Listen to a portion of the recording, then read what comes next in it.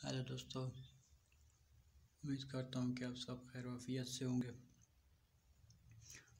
तो आज का जो हमारा टॉपिक है, ये है शॉर्टकट फॉर हाइब्रिडाइजेशन यानी कि हाइब्रिडाइजेशन ऑफ़ डिफरेंट मालिक्यूल्स को फाइंड आउट करने का एक ट्रिक कि हम डिफरेंट मालिक्यूल्स को का किस तरह पता लगा सकते हैं कि ये एस पी हाइब्रिडाइज्ड है या एस पी टू हाइब्रिडाइज्ड है या एस पी थ्री हाइब्रिडाइज्ड है। तो ये एक ट्रिक है, जो हमें बताता है कि कौन सा मॉलिक्यूल कौन सी हाइब्रिडाइजेशन में मौजूद है। तो सबसे पहले आप एक ऐसी टेबल टेबल बना लेंगे। S p s p two s p three s p three d s p three d two s p three d three उसके बाद आपने नंबरिंग करनी है। नंबरिंग यूँ करनी है कि पहले पहले जो एक एस पी है ना एस पी को दूसरा नंबर देना है। एस पी टू को तीसरा number s p three d को फिफ्थ इस तरह एक नंबरिंग कर देनी है। ये एक सीरियल नंबर लिखा हुआ है। S P two S P S P two को, तीसरा एस पी थ्री को, चौथा एस पी थ्री डी को, पाँचवा S P three D two को, छठा और S P three D three को सेवन्थ जिनके सातवां नंबर दे देना है। अब एक कंपाउंड एक लेते हैं। वो है एन एच थ्री ठीक है जी। अब हमें कैसे पता चलेगा कि इसमें कौन सी हाइब्रिडाइजेशन मौजूद है? सबसे पहले हम नाइट्रोजन को देखेंगे कि कौन से ग्रुप से रिलेटेड है और इसका अटामिक नंबर कितना है, ठीक है जी? इसका अटामिक नंबर हमें मालूम हुआ कि सेवन है। Seven atomic number is it means कि इसके नंबर ऑफ़ इलेक्ट्रॉन सेवन है। पहले शेल में कितने आ जाएँगे? दो। दूसरे शेल में पाँच इलेक्ट्रॉन आ जाएँगे। तो यहाँ पर हमने जो वैलेंस शेल इलेक्ट्रॉन है ना उनको यहाँ पर लिख लेना है। तो वैलेंस शेयर इलेक्ट्रॉन दो शेल ही मौजूद होते हैं नाइट्रोजन के पास। वैलेंस शेल इलेक्ट्रॉन में पाँच वैलेंस शेल में जो है ना पाँच इलेक्ट्रॉन मौजूद होते हैं। तो हम यहाँ पर लिख लेंगे पाँच इलेक्ट्रॉन उसके बाद हाइड्रोजन को देखेंगे। इसका वैलेंस इलेक्ट्रॉन और इसका जितने भी मर्क्यूल्स हैं, ये तीन है ना, ये तीन हम इनको मल्टीप्लाई कर देंगे यहाँ पर। तो फिर पाँच तीन और ये पाँच, आठ अब अगर ये आंसर हमारे पास आठ आ गया है या आठ से कम आ गया है, आठ या आठ से कम देन डिवाइड करेंगे इसको दो से। अगर आठ से ज़्यादा अगर हमारे पास यहाँ पर जवाब आया है तो फिर हम इसको आठ के साथ डिवाइड करेंगे। अब क्योंकि हमारे पास आठ है तो हम इसको दो से डिवाइड करेंगे। आठ को जब दो पर डिवाइड किया, हमारे पास फोर आया। और हम फिर टेबल टेबल की तरफ़ आएँगे।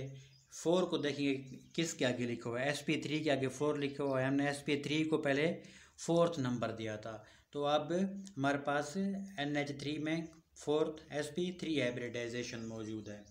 एस पी थ्री हाइब्रिडाइजेशन अब एक दूसरी एग्जांपल देखते हैं कि Z E F E two आप जानते हैं जीनोन के वैलेंस शेल में आठ इलेक्ट्रॉन होते हैं। बहुत ही स्टेबल एक मतलब के एक एलिमेंट है। नोबल गैस है रिएक्ट करता नहीं है क्योंकि स्टेबल है कॉन्फ़िगरेशन इसकी और इसके वैलेंस शेल में आठ इलेक्ट्रॉन मौजूद होते हैं। फ्लोरीन हेलोजिन फैमिली से रिलेटेड है, ताल्लुक़ रखता है। इसके पास सात इलेक्ट्रॉन होते हैं। ये जल्दी से रिएक्ट करके एक इलेक्ट्रॉन आपको पता है गेन करते हैं। तो इसके वैलेंस शेल में सात इलेक्ट्रॉन मौजूद हैं। हमने पहले जीनॉन के वैलेंस शेल्स इलेक्ट्रॉन्स को लिखा, जो कि आठ थे, फिर फ्लोरीन के, जो कि सात हैं। अब ये कितनी फ्लोरीन मौजूद हैं? दो फ्लोरीन मौजूद हैं। हमने सात को दो से मल्टीप्लाई कर दिया था। यहाँ पर तीन हाइड्रोजन थे हमने। तीन के साथ मल्टीप्लाई किया था। अब हमने कितने के साथ किया है? दो के साथ, क्योंकि दो फ्लोरीन मौजूद हैं। जब आप इसको देखेंगे तो आठ और चौदह बाईस बनेंगे। अब बाईस is greater than eight so divided by eight जब लेस देन एट होगा, तब हम दो से डिवाइड करेंगे। जब ग्रेटर देन एट होगा, हम उसे एट के साथ डिवाइड करेंगे। तो उसके बाद क्योंकि अब ये पूरा पूरा डिवाइड नहीं होता, अगर चौबीस होता तो आठ, तीन चौबीस हो जाता, मुकम्मल डिवाइड हो जाता। मगर अब डिवाइड नहीं हो रहा। अब क्या करेंगे? अब बाईस को अंदर, आठ को बाहर रखेंगे। आठ मल्टीप्लाइड बाय दो सिक्सटीन आएगा। क्योंकि अगर आठ अगर अगर हम आठ को तीन के साथ मल्टीप्लाई तो वो चौबीस आएगा, जो कि बाईस से बड़ा है। तो अब क्या करेंगे हम? दो के साथ मल्टीप्लाई करेंगे। सिक्सटीन उसके बाद जब इसको सब्ट्रैक्ट करेंगे तो ये सिक्स आएगा। सिक्स सिक्स क्योंकि एट के एट से छोटा है तो हम इसको दो से डिवाइड कर देंगे। अगर ए सिक्सटीन एट से बड़ा होता, फिर हम आठ से।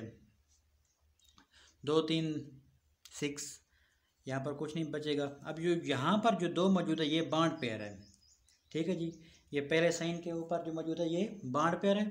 ये वाला लॉन पेयर ऑफ़ इलेक्ट्रॉन है। तो अब बाड पेयर और लॉन पेयर को हम एडअप कर देंगे। बाड पेयर और लॉन पेयर को एडअप कर देंगे।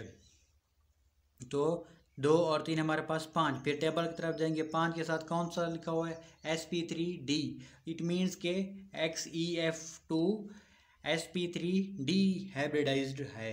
एस पी थ्री डी अब बाड पेयर और लोन पेयर को ऐड कर देंगे।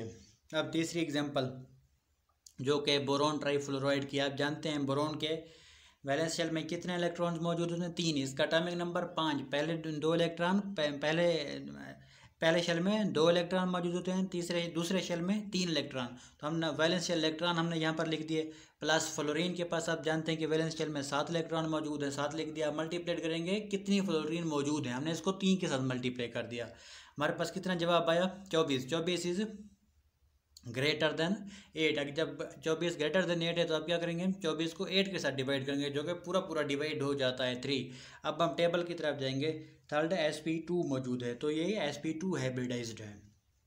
इस ट्रिक यूज़ करने के लिए आपको ग्रुप नंबर ऑफ़ एलिमेंट पता होना चाहिए कि एक एलिमेंट अब नाइट्रोजन है कौन से ग्रुप में है तो इसका अटामिक नंबर जब आपको ग्रुप नंबर का पता चल जाएगा तो आपको अटामिक नंबर इजीली पता चल जाएगा। जब अटामिक नंबर पता चल जाएगा तो आपने क्या करना है कि वैलेंस शेल के इलेक्ट्रॉन्स को ले लेना है अपने पास, उनको अब उसको जमा कर लेना है, और जो भी आपके पास वैल्यू आए, उसको टेबल के साथ देख लेना है।